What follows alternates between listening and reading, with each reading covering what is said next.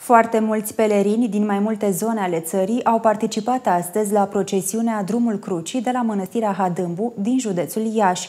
Aceasta s-a desfășurat prin dreptul celor 14 troițe care pornesc de la poarta Bucuria Crucii, situată la poalele dealului mare. Pelerinajul a fost precedat de Sfânta Liturghie, oficiată de Preasfințitul Părinte Antonie, episcop de Bălți, împreună cu un sobor de preoți și diaconi de pe ambele maluri ale Prutului.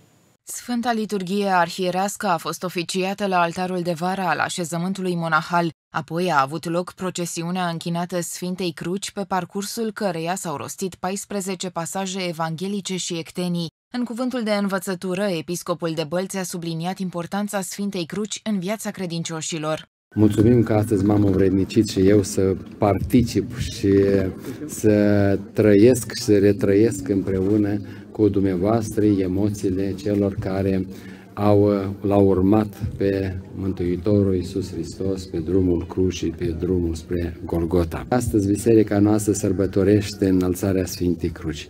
O sărbătoare împărătească, o sărbătoare mare, o sărbătoare cu semnificație deosebită și nu întâmplător părinții bisericii au uh, rânduit ca duminica precedentă și după praznic propriu zis de asemenea să se vorbească despre Sfânta Cruce.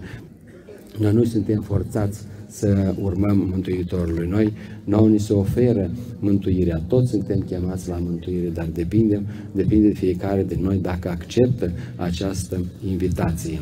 În general, mântuirea este, prima parte este invitația lui Dumnezeu și a doua este răspunsul omului de a urma aceste invitații.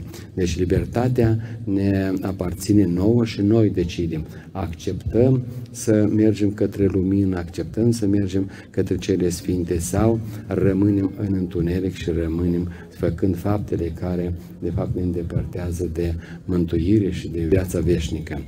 La rândul său, părintele arhimandrit Nicodim Gheorghiță a apreciat evlavia pelerinilor care au participat la procesiune.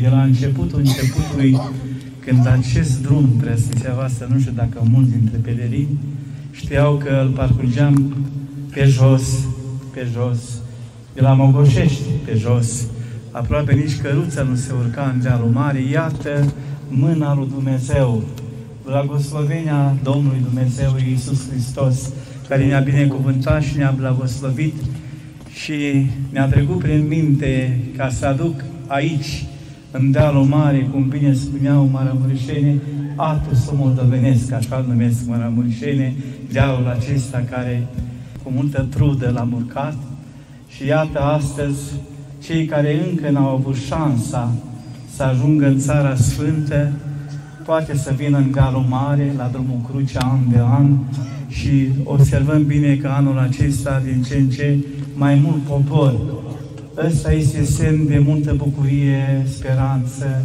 nădejde, milostivul Dumnezeu. La finalul evenimentului, preasfințitul părinte Antonie a oferit părintelui stareț o candelă ce simbolizează unitatea neamului românesc.